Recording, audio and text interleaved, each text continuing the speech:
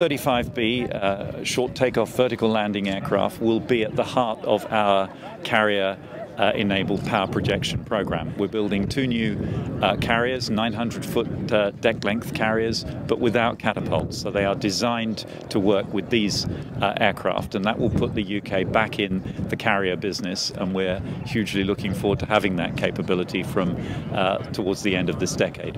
It was fantastic to see it happen. I've, you know, like everybody else, I've seen the videos of uh, vertical landings on the Wasp, but this is the first time I've seen the aircraft in person uh, landing and flown by a British pilot. So obviously uh, the F-35 Joint Strike Fighter, or as we know it, the, the Lightning, brings a new fifth generation capability. What's particularly new for the UK is the stealth properties. We've never had a stealth aircraft before. Uh, that'll bring us uh, much better capability with regards to survivability, but also much better access uh, where we can go places and have effect uh, where hitherto we've not been able to do that.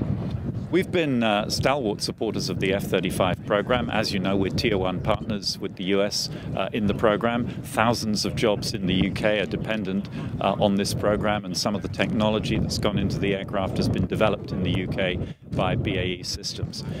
Defence programs generally, and this is one of the most important ones, uh, typically sustain the high end of our engineering uh, industry and high end development skills. And it is crucially important for us to keep that skill base uh, together, and the F 35 program